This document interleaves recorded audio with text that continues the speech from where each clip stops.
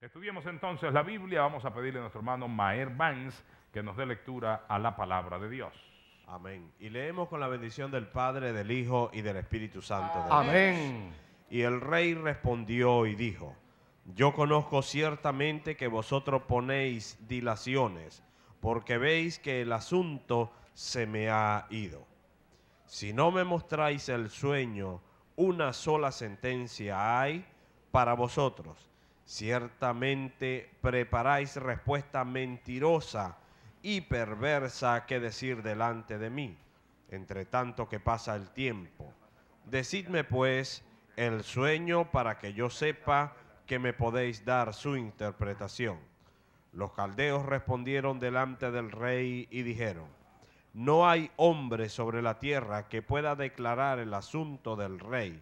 Además de esto, ningún rey, príncipe ni señor preguntó cosa semejante a ningún mago, ni astrólogo, ni caldeo, porque el asunto que el rey demanda es difícil y no hay quien lo pueda declarar al rey, salvo los dioses cuya morada no es con la carne. Por esto el rey con ira y con gran enojo mandó que matasen a todos los sabios de Babilonia. Y se publicó el edicto de que los sabios fueran llevados a la muerte. Y buscaron a Daniel y a sus compañeros para matarlos. Entonces Daniel habló sabia y prudentemente a Arioc, capitán de la guardia del rey, que había salido para matar a los sabios de Babilonia. Habló y dijo a Arioc, capitán del rey, ¿cuál es la causa de que este edicto se publique de parte del rey tan apresuradamente? Entonces Arioc hizo saber a Daniel lo que había.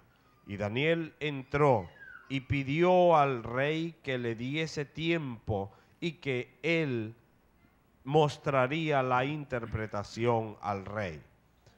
Luego se fue Daniel a su casa e hizo saber lo que había a Ananías, Misael y Azarías, sus compañeros, para que pidiesen misericordias del Dios del cielo sobre este misterio, a fin de que Daniel y sus compañeros no pereciesen con los otros sabios de Babilonia. Entonces el secreto fue revelado a Daniel en visión de noche, por lo cual bendijo Daniel al Dios del cielo. Y Daniel habló y dijo, sea bendito el nombre de Dios de siglos en siglos, porque suyos son el poder y la sabiduría. Él muda los tiempos y las edades, quita reyes y pone reyes, da la sabiduría a los sabios y la ciencia a los entendidos.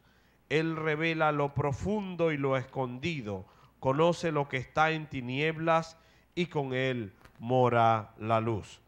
A ti, oh Dios de mis padres, te doy gracias y te alabo porque me has dado sabiduría y fuerza y ahora me has revelado lo que te pedimos, pues nos has dado a conocer el asunto del rey. Oremos al Señor. Padre, te damos gracias, oh Dios, por tu santa y divina palabra, por este privilegio que nos das, oh Dios mío, de abrirla y oír tu voz a través de ella.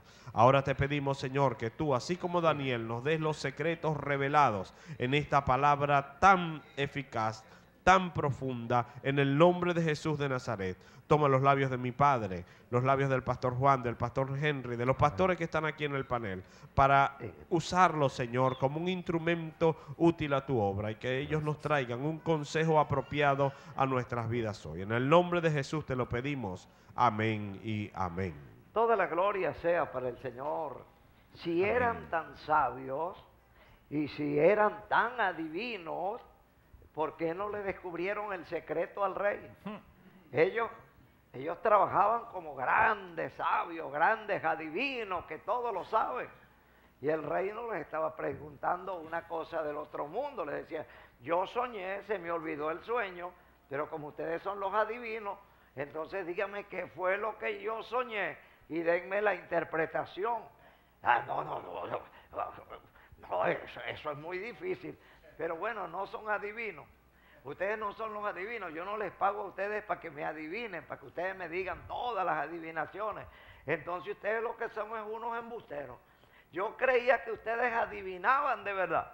Pero ahora que se me presenta esta emergencia, Hmm. entonces ustedes me dicen que esto es difícil. ¿Y, y qué es lo que adivinan ustedes? Lo fácil. No, no, no, no, no, no, no. Hermano, ese rey tomó una sola decisión y fue matar a todos los sabios de Babilonia, todos los sabios de Babilonia, oiga, mandar a matar a todos, a todos los sabios, pero gracias a Dios, amados hermanos, que nosotros, los creyentes, tenemos a quien clamar. Los sabios no tenían a quien clamar, porque si iban a clamar, por ejemplo, a, a sus dioses, la Biblia dice que tienen ojos, Y no ven. ven, tienen orejas, y no oyen, tienen boca, Y no hablan. tienen mano, Y no palpan. tienen pies, Y no caminan. tienen nariz. Y no huelen. Ah, no, hermano. Definitivamente, ¿qué puede hacer un Dios hecho con las manos pecadoras? Imagínese usted, si nosotros los pecadores hacemos los dioses más pecadores que nosotros todavía, porque eso no pueden hacer nada, es que no pueden hacer nada.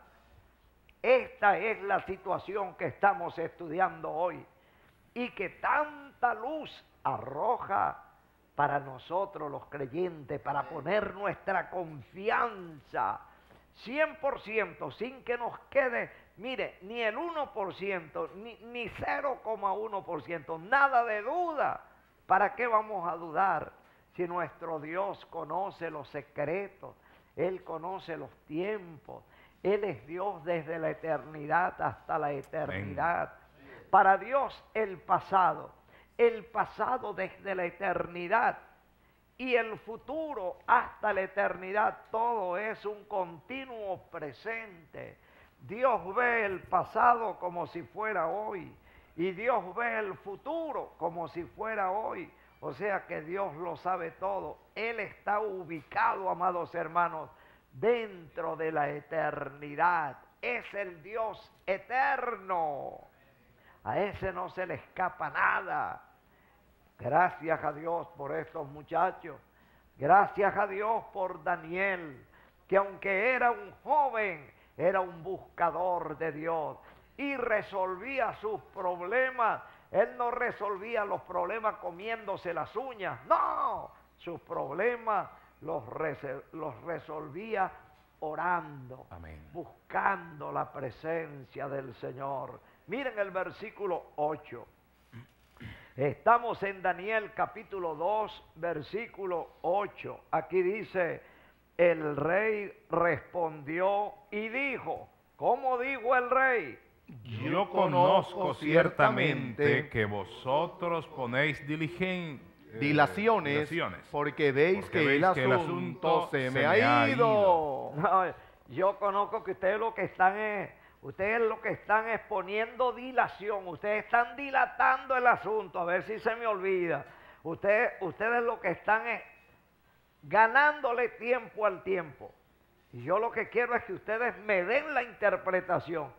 Y ustedes andan buscando argumentos que no, que eso no lo ha pedido ningún rey en el mundo. ¿A quién se le ocurre eso? Que le vamos a decir lo que usted soñó. Lo que usted soñó tiene que saberlo usted. Hmm. No, pero es que a mí se me olvidó. Y ustedes no son adivinos. Ustedes no son, si son adivinos, ustedes tienen que decirme lo que, lo que yo soñé, porque para eso son adivinos y para eso los tengo aquí. Ustedes lo que están es poniendo dilación, ustedes están dilatando el asunto. Si no me mostráis el sueño, ¿qué pasa, cielito, si no le mostraban el sueño en el versículo 9? Una sola Una sola sentencia sentencia hay para Una vosotros. sola sentencia hay para vosotros. Ajá, ¿cuál es la sentencia, mi rey? Preparáis respuesta mentirosa y perversa que decir delante de mí. entre tanto que pasa el tiempo. Decidme pues el sueño para que yo sepa su interpretación. Ustedes lo que están es alargando el asunto.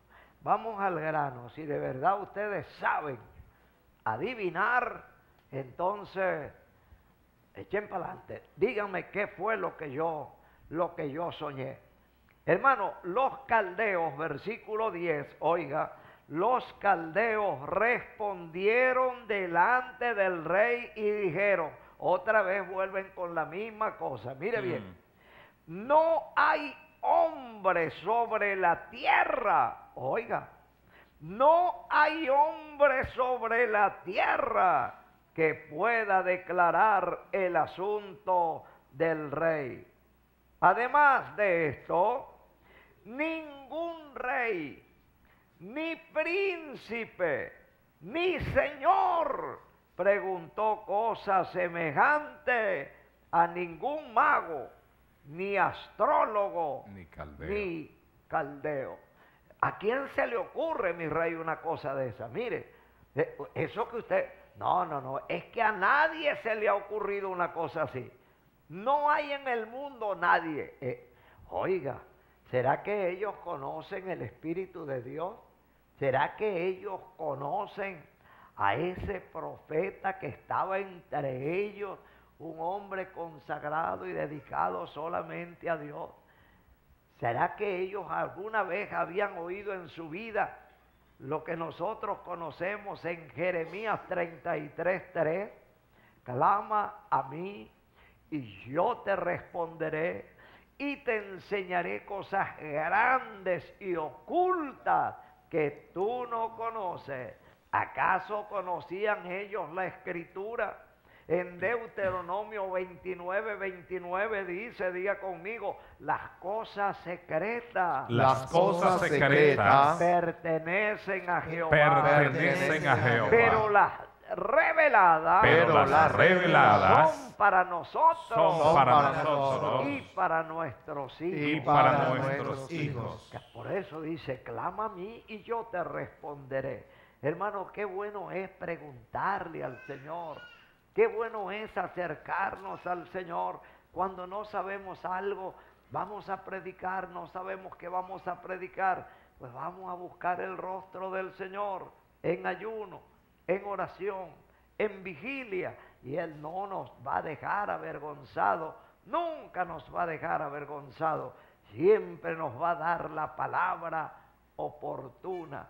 Ellos estaban hablando de la mente. Ellos estaban tratando de disfrazar su ignorancia y su verdadera identidad como engañadores y hijos de, de mentira en el nombre del Señor. El último versículo es el 11. Diga conmigo. Porque el asunto que el rey demanda. Porque el asunto que el rey demanda ¿Qué pasa con el asunto que el rey estaba demandando? es difícil. Es difícil y no hay quien lo pueda declarar al rey, salvo, oiga, salvo los dioses. Sí, Señor, el Dios Padre, el Dios Hijo y el Dios Espíritu. Aleluya. Son los que declaran todas las Eso. cosas, mis amados hermanos, porque la Biblia dice que no hay nada oculto Que que, no haya de ser manifestado. manifestado delante del Señor. Lo que se hace en tiniebla, el día lo declarará.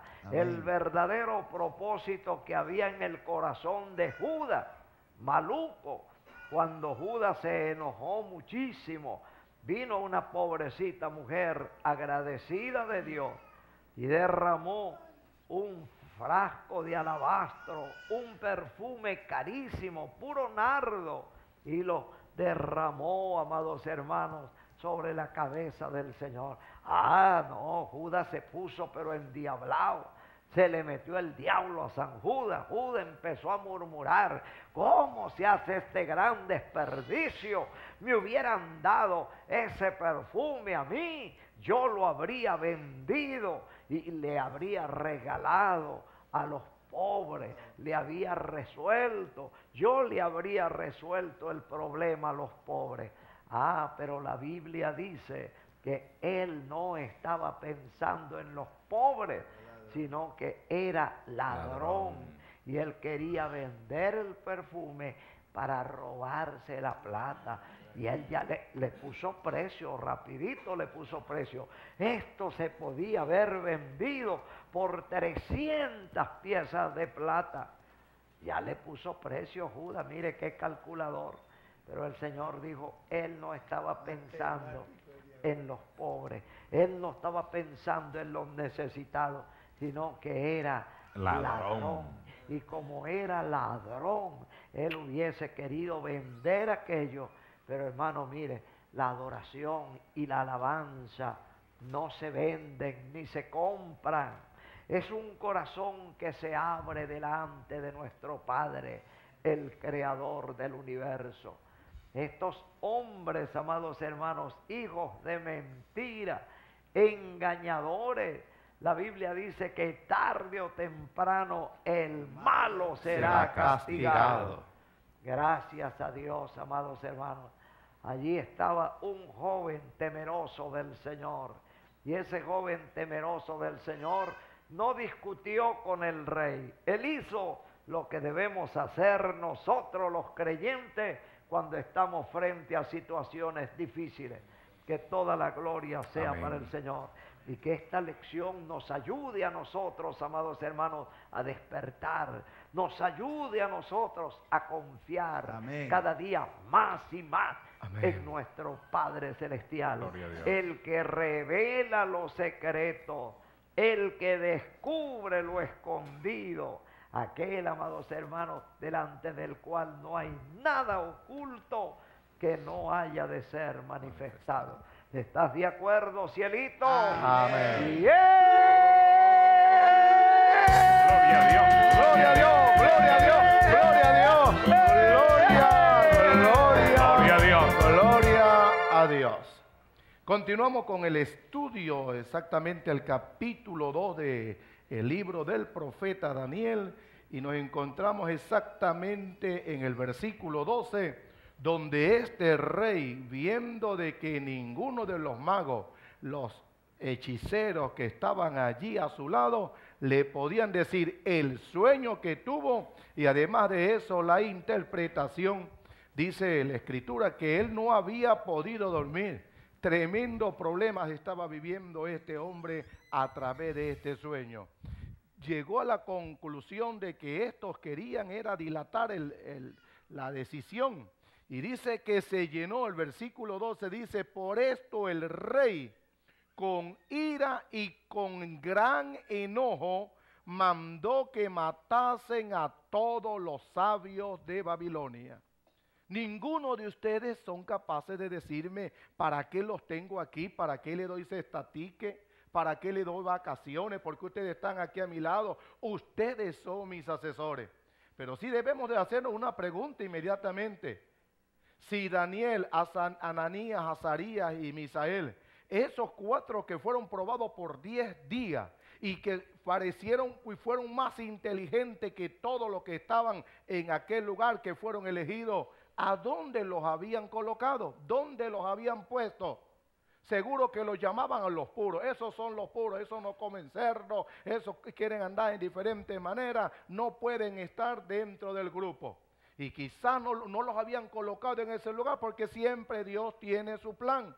A veces nos toca a nosotros decir por qué no estoy ocupando un lugar, no por qué no, no suceden las cosas en este tiempo porque Dios siempre tiene un tiempo para cada ocasión, para mostrar su gloria. Fíjese que una de las palabras que dijeron estos sabios fue, los únicos que pueden hacerlo es aquellos que tienen un Dios que no tiene morada con la carne. No, eso, no, eso es imposible. No podemos hacerlo. Y este hombre, este, este Nabucodonosor, este rey babilónico, dio la orden, mátenmelos a toditos, porque para qué los tengo. Y inmediatamente, dice el versículo 13, el hombre hablaba y cumplía, estaba furioso, no podía dormir y además de eso tiene el poder para llevar a cabo y ordenar que se lleve a cabo la matanza de aquellos hombres. Los dioses de ellos no le pudieron ayudar. Los, lo- la- los estilos de ellos para clamar a sus diferentes dioses no le pudieron ayudar y ahora estaban sufriendo las consecuencias.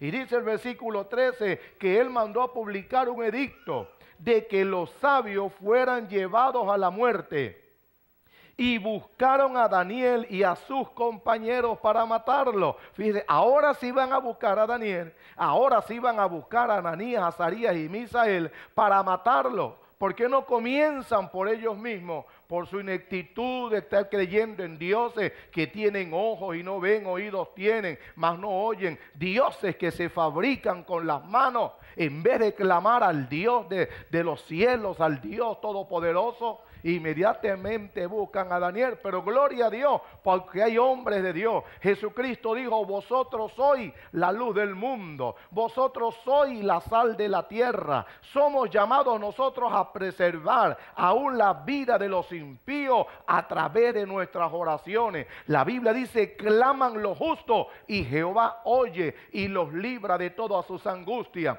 ¿Cuánto descarriado no me estarán mirando en este instante y dirán, ¿por qué a mí no me han pasado muchas cosas? Pero es que está la oración de nosotros. Estamos constantemente orando por ustedes para que Dios extienda su misericordia como lo hizo el gran hombre de Dios cuando intercedió por Sodoma y Gomorra. No lo pudo conseguir porque no se arrepintieron como hicieron los ninivitas, pero siempre hay oportunidad. Y salieron todos temblorosos a buscar primeramente a Daniel y a sus compañeros. Oiga bien lo que dice el versículo 14.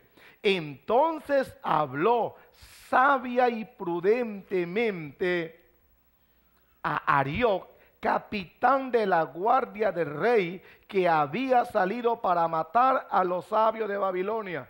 Salieron inmediatamente a buscar a Daniel y a sus cuatro compañeros. Pero ¿por qué no lo buscaron de una vez para decirle? Y aquí viene la condición de estos hombres de Dios. Dice que Daniel habló sabia y prudentemente. ¿Cuántas veces nos metemos en problemas por no hablar sabia y prudentemente? La Biblia dice que por tus palabras serás juzgado y por tus palabras serás condenado. Pero vamos a observar ciertos rasgos en las palabras con que Daniel habla, que aunque él habla con sabiduría, también está como una especie de crítica diciéndole al rey que por qué lo hizo apresuradamente. Oiga bien, le dijo a, Arió, capitán de la guardia del rey, que había salido para matar a los sabios de, Babilonia. Cuando busca usted en el diccionario qué significa el nombre de Arioc, dice semblanza de león. Cuando usted, oye, tenía tremendo semblanza de león. O sea que el tipo era bien furioso. Todo mundo le tenía a Arioc. Ahí viene semblanza de león, cara de león, las barbas largas. Y llegaba y llegó donde estaba Daniel. Te vengo a matar. Aquí está el decreto. Lo firmó el rey. Todos los sabios van a morir. Y aquí está el decreto. Y Daniel no se asustó. Daniel dijo, no, no, no, no, no se asustó. Daniel habló porque sabemos en quién confiamos. La Biblia si él dice que si el espíritu del príncipe se exaltare contra ti, no dejes tu lugar. Usted sabe en quién confía. Quizás para usted ese Arió, ese, ese capitán de la guardia, ese es el dueño de su trabajo, de su compañía, que comenzando el año tiene una semblanza de león contra usted diciéndole, te voy a votar. Tú vas a saber que te voy a votar porque me estás cayendo pesado. Pero si usted tiene al Señor, usted sabe que Él no lo puede tocar porque el Señor lo está prometiendo, lo está cuidando. El diablo ha dicho este año los voy a destruir, pero nosotros no tenemos miedo porque a nosotros nos cuida el Señor. Yeah. Aleluya, bendito sea el Señor. Gloria a Dios, gloria a Dios, gloria a Dios. Gloria a Dios. Los que le servimos a Dios. Los tres ayunos, los tres días de ayuno que hizo nuestro hermano Puerta, uf, ah, yo brinqué cuando vi en, en la, en- en- en el- en la- vamos a llamarlo en internet. Llegué y vi y dijo, nuestro hermano Puerta dijo que el primer versículo que Dios le dio es, mío es el oro y mío es la plata. O sea que no debemos estar quejándonos. El Señor lo va a proveer y que la gloria postre de esta casa será mayor que la primera. Y yo tuve tantas bendiciones en el 2012, entonces en este 2013 las bendiciones son cuadruplicadas. Se Yeah. multiplicarán las Amén, bendiciones del. Señor porque le creemos. Gloria a Dios, gloria a Dios, gloria a Dios. Conseguir un Arioc que puede ser su marido con esa barba o ese bigote furioso y le dice, María, no quiero verte nunca más en los, con los evangélicos. No me gusta porque tú eres una mujer preparada. ¿Qué haces tú en esos matutinos que con la mano levantada y brincando y saltando cada rato? No me gusta. Y usted no puede tener temor. Hable con Él. Dios le va a dar la victoria. Nosotros somos llevados de triunfo en triunfo. La luz de los justos es como la luz de la aurora que va en aumento, en aumento hasta que del mediodía es perfecto. Ese muchacho rabioso, ese muchacho indomable, no tenga temor. Háblele con sabiduría, con prudencia, como lo hizo Daniel. Hay que tener confianza. Los van a matar a ellos porque no tienen mi Dios. Ellos están mal porque no tienen nuestro Dios. Porque nuestro Dios es un Dios que habla. O es un Dios que no se mantiene callado. Nuestro Dios no va, es un Dios de imposible. Porque al que cree todas las cosas le son posibles. Porque sabemos que nada hay imposible para Dios. Amén. Dios cuida nuestra vida, nuestra economía, nuestra salud. Quizás usted está viendo y vio en esta semana a ese médico con cara de capitán, de ese perverso, y le dijo, usted tiene pocos días de vida porque le hemos descubierto un cáncer. Usted está mal. No, no tenga miedo. Aquí están los matutinos. Nosotros Yeah. clamamos a Dios y Dios responde. Gloria a Dios, gloria a Dios, gloria a Dios, gloria a Dios, gloria a Dios. Gloria a Dios. Daniel le habló sabia y prudentemente. Y la única manera de hablar sabia y prudentemente es a través de la escritura. La Biblia dice que si alguno hable, hable conforme a la escritura. Si alguno administra, administra el poder de Dios. Y aquel hombre, semblanza de león, vio la cara de Daniel diferente, porque la cara del creyente tiene que ser diferente. En nosotros no hay rencor, no hay odio. A, a- a nuestro hermano Ananía, cuando le cayeron a pedrada y le decían, muere, porque tú tienes que hablar de Jesús resucitado? Cállate la boca. Ananías levantaba su mirada. Esteban. Levantaba su mirada, gracias mi pastor. Gracias, Señor, veo los cielos abiertos. Ustedes dicen que Él está muerto, pero yo lo veo sentado a la diestra del Dios Padre Todopoderoso. Ese es nuestro Dios, porque nuestro Dios nos lleva de victoria en victoria. Y le dice, le dice la escritura, el capitán de la guardia del rey que había salido para matar a los sabios. ¿A qué vino? A matar. ¿A qué vino? A destruir. ¿A qué vino? A acabar. La Biblia dice que el diablo vino a matar, a robar y a destruir. Pero gloria a Dios que Cristo vino para que tengamos vida y para que la tengamos en abundancia. ¿Quién lo protege a usted? ¿Quién lo cuida a usted? ¿Dios es de madera, Dios es de yeso o el Dios que está sentado a la diestra del Dios Padre Todopoderoso e intercede por usted y por nosotros también, nuestro abogado?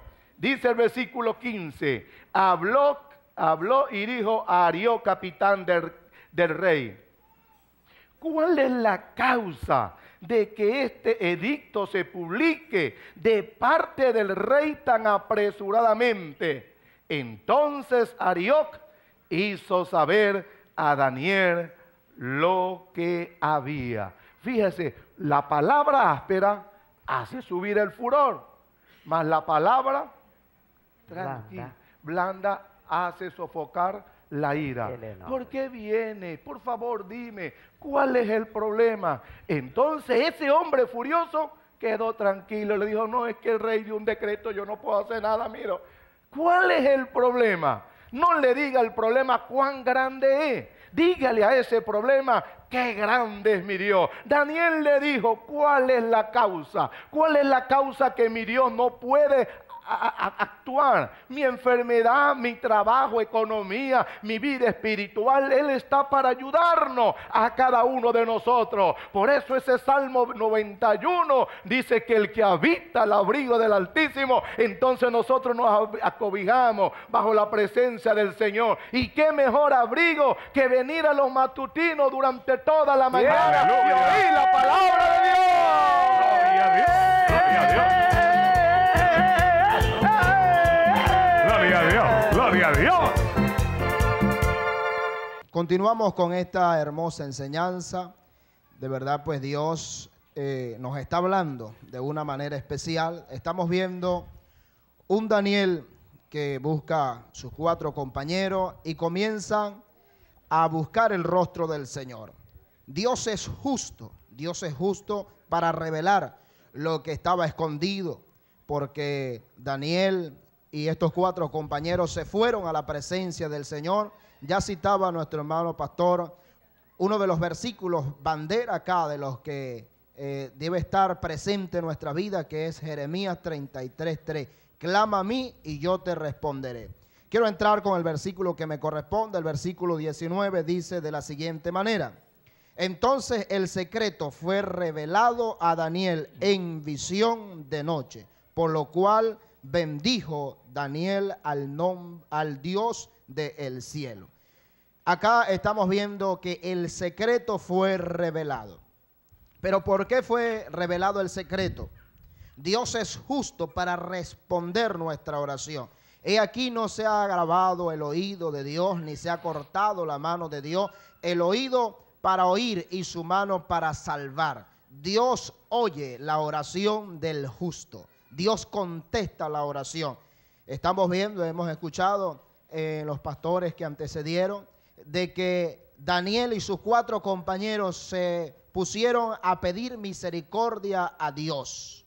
Es lo que nos enseñó nuestro Señor Jesucristo. Cuando oréis, dijo, entra a tu aposento y cerrada la puerta, orarás a vuestro Padre en, en secreto y vuestro Padre que oye en lo secreto os recompensará en público. La maravilla de que nosotros vayamos al secreto. Dice que Daniel fue al secreto, entonces el secreto fue revelado a Daniel en visión.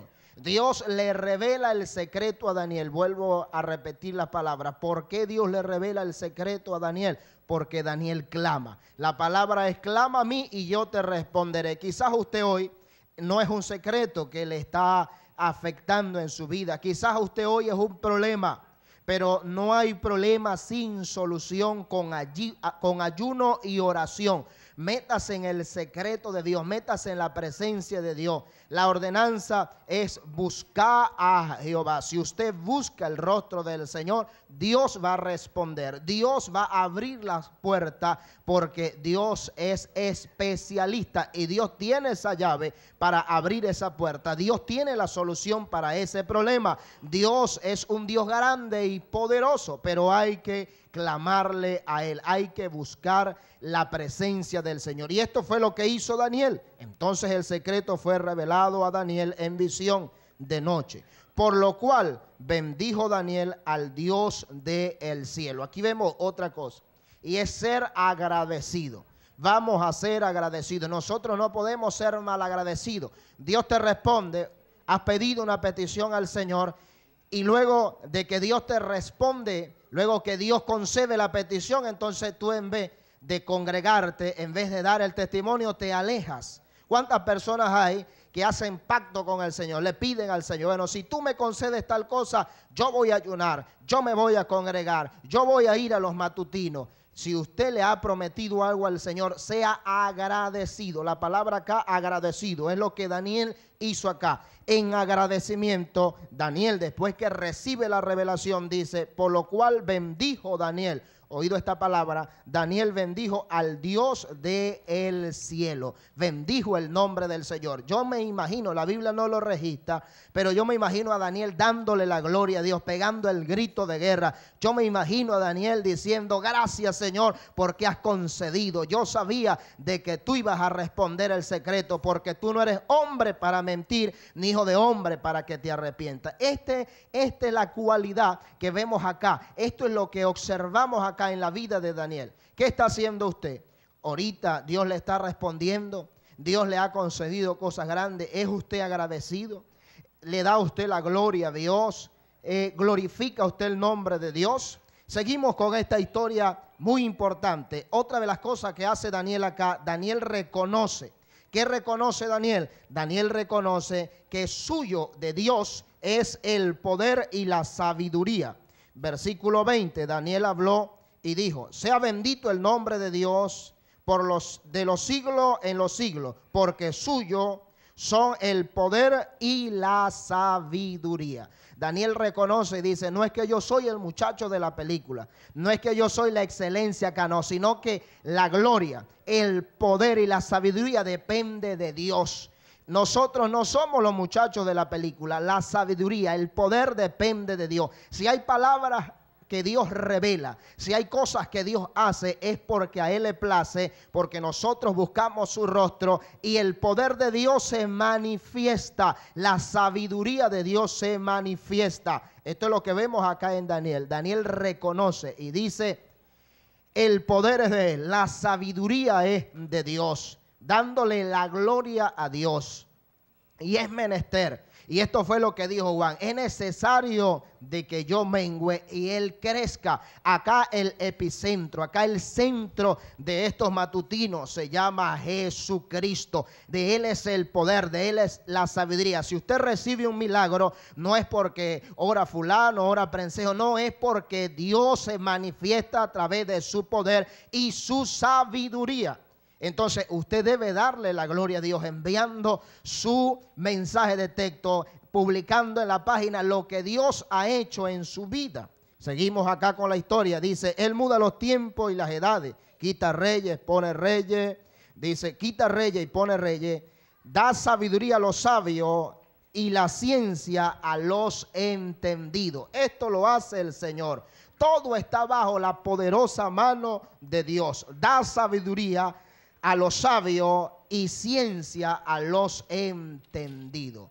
No somos sabios porque nos hemos preparado eh, en una gran universidad, no somos superintelectuales porque nos hayamos nosotros preparado, no, no, sino que Dios, y quiero hacer énfasis acá, no es malo los estudios, pero es Dios quien da sabiduría a los sabios.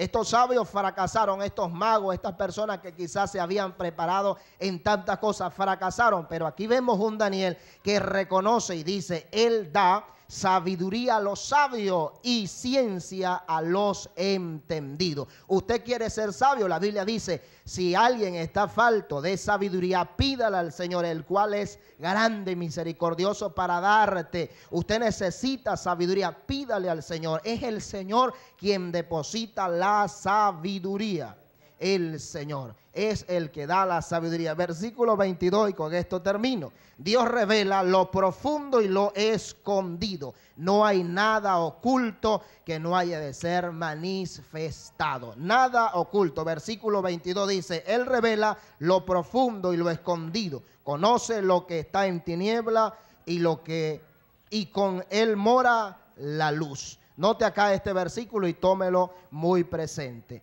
Usted que quizás dice, me voy a esconder para hacer el pecado, no hay nada oculto que no haya de ser manifestado. Usted que comete su pecado, usted que esconde su pecado, recuerde esta palabra, es menester confesar el pecado porque Él te conoce. Quizás Argenis Cáceres, los pastores que estamos acá no te conocen, pero el Señor te conoce. Y esto es lo que dice Daniel acá. Él revela lo profundo y lo escondido. ¿Cuántas personas cuando se está predicando dice, pero cómo el pastor sabe de esto si no se lo he contado a nadie? Porque Dios te conoce. Dios te bendiga, que Dios te guarde. Yeah.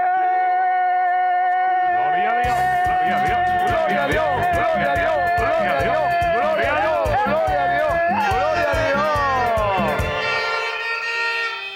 A ti, oh Dios de mis padres, te doy gracia y te alabo porque me has dado sabiduría y fuerza y ahora me has revelado lo que te pedimos, pues nos has dado a conocer el asunto del rey.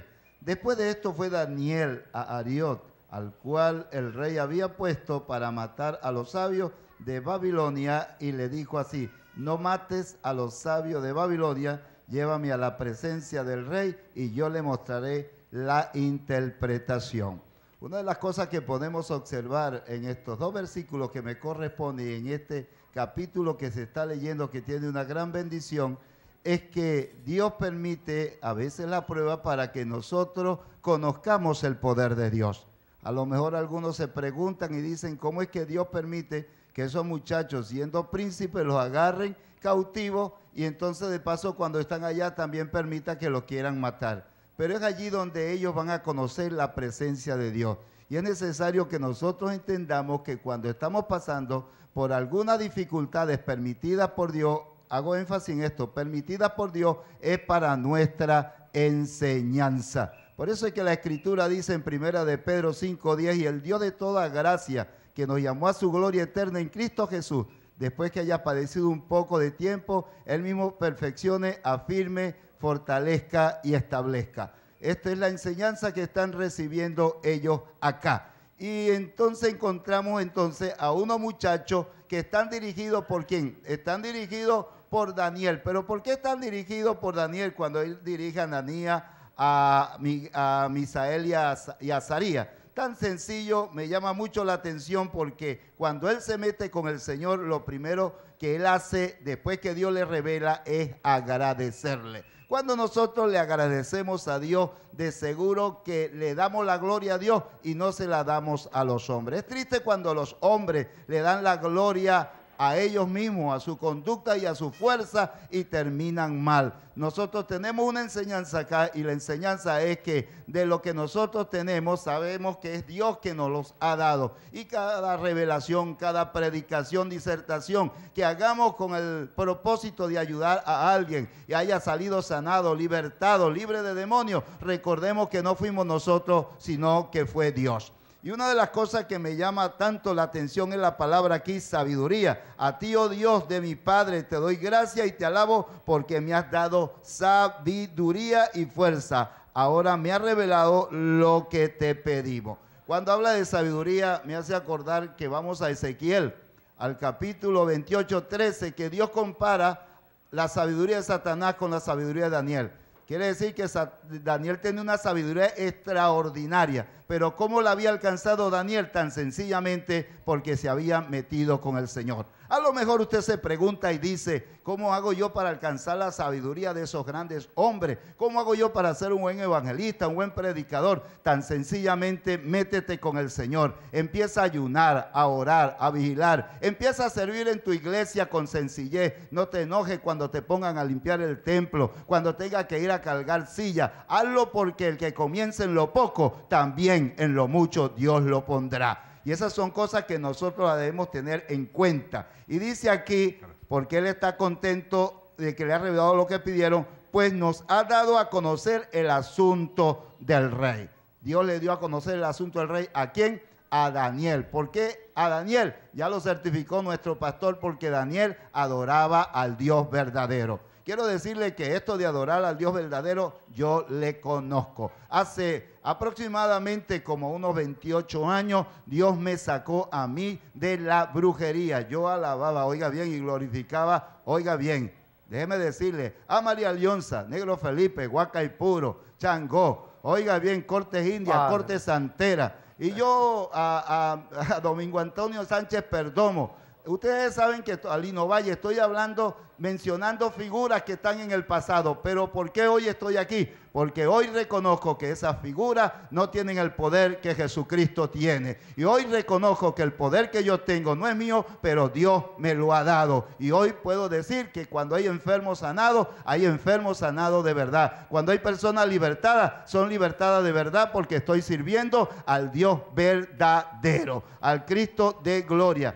Después de esto fue Daniel a Arió, al cual el rey había puesto para matar a los sabios de Babilonia, y le dijo así, no mates a los sabios de Babilonia, llévame a la presencia del rey y yo le mostraré la interpretación. ¿Qué quiere decir esto? Que cuando nosotros nos metemos con el Señor, inmediatamente viene la respuesta. Dios da respuesta inmediata, Dios da respuesta a su tiempo y a su tiempo se la dio a Daniel. Dios te va a dar la respuesta para tu matrimonio, Dios te va a dar la respuesta para la empresa que tú tienes, Dios te va a dar la, la respuesta para ese problema que tú tienes en la droga y en el alcohol. Dios te bendiga y Dios te guarde. Amén. Yeah.